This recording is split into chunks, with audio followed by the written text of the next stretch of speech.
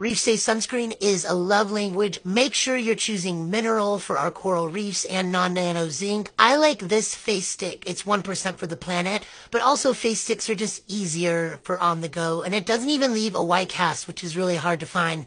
Also, this smells unreal. Like, I can't wait to use this all the time.